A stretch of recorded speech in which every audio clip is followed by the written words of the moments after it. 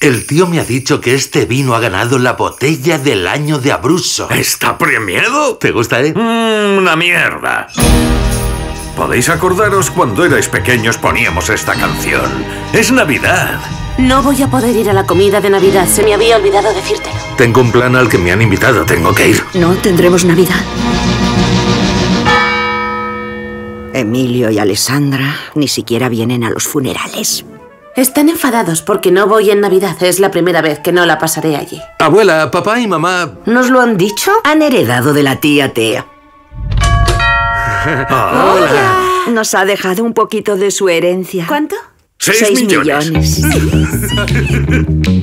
Por fin voy a poder decir adiós a esta vida de mierda. Vida conmigo. ¡Un brindis por la tía Tea! ¿Y cómo vamos a hacerles creer que ahora somos millonarios?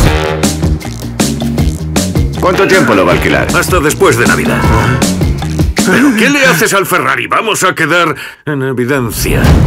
Disfrutar comiendo delicias y sin preocuparse por la cuenta. No quiero ni ver cuánto pagas porque me siento hasta mal. ¿Aceptan ustedes cheques restaurante para pagar? No. Además necesitaría unos 300. Al final tenías razón tú sobre lo de que solo aparecerían por el tema del dinero. Ya verás cuando les digamos que era una broma. Se os está yendo de las manos.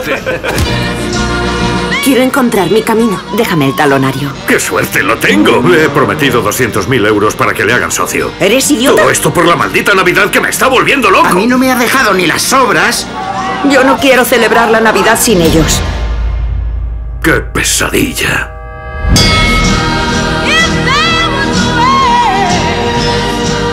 ¿Y lo del seguro cómo lo hacemos? Si le ocurre algo al coche, le arranco los huevos y ya está. Es asumible ese riesgo.